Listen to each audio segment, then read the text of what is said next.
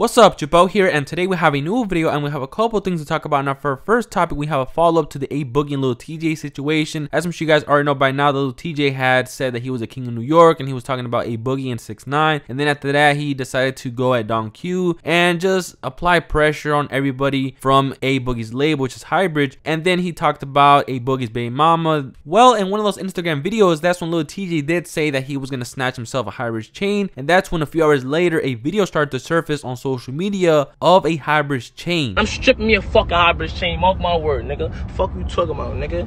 Alright, I'm gonna sleep my belly, nigga. Less than 24 hours, what's up? What we doing? What we doing?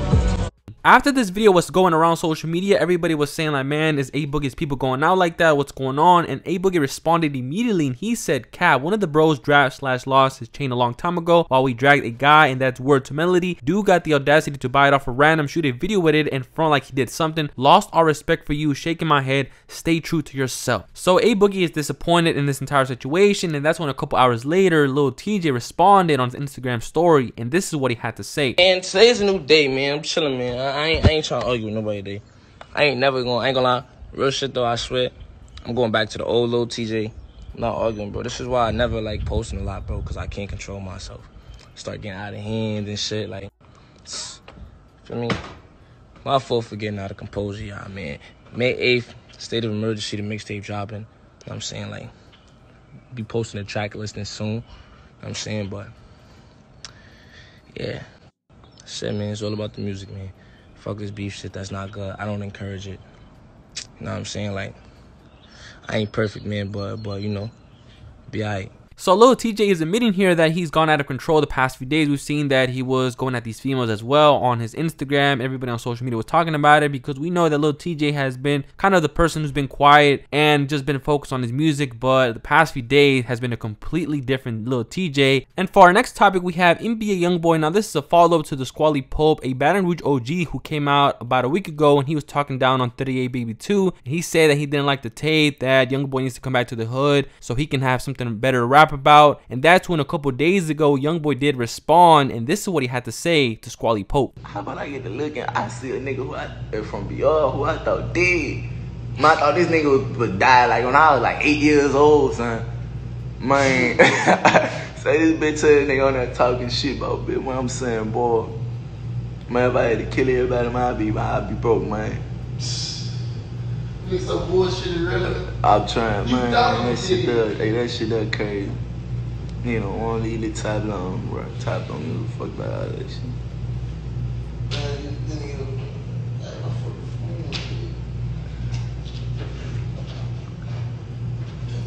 Nigga, This is- Hey, niggas they got to talking shit about the nigga they don't even know. I say, oh, I say, BR making a nigga suffer like that.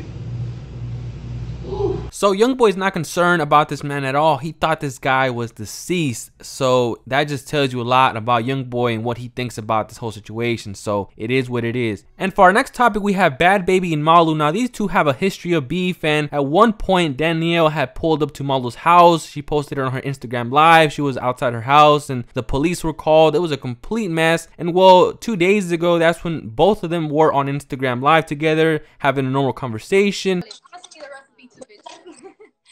What's it like, bro? KJ was calling me. I'm gonna just text it to you. Okay. Bye. Y'all so angry for no reason. Leave that girl alone. She ain't doing nothing to y'all. See, this is what I don't understand. When we beef, y'all be like, why did I get to be cool? Why did I get to be cool? And then when we we cool, y'all didn't like each other. I thought y'all liked each other. I thought y'all was fine. The fuck out of here. Be me, bro. I'm happy. Living life, bro. I'm happy. What I say? Living life, bro. I'm happy. Okay? That's what I'm doing. Living life. I'm happy. Okay? Let me be. Also, Bhad Bhabie had posted Malu on her Instagram story and she said, Y'all stop, she looked pretty, y'all leave Shorty alone. After people are going at Malu saying that you're trying to copy Bhad Bhabie with the red hair, and they are also following each other back on social media. So it looks like they are friends once again. And for our final topic, we have Kodak Black. Now, in the past, Kodak has said that he's being mistreated behind bars, and yesterday on his Twitter, this was posted and it says, We just heard from fellow inmates at Max Penitentiary, Big Sandy, Kentucky, in regards to Kodak Black's treatment. He couldn't call himself as he is not allowed phone or visitation for six months as punishment for the incident in Miami, even though that has been the case in September. They refused to give him credit for that time. Friday night, he was badly beaten while in cuffs by seven guards at Big Sandy, Kentucky. They struck him in the head repeatedly with a metal object. Then, after one of the guards flicked his genitals and said, You're not so gangster now, you're gonna need bigger balls to survive. We have notified his counsel and he advised he'll be asking for a full investigation by the Justice Department and the FBI. Man, so Kodak Black got into some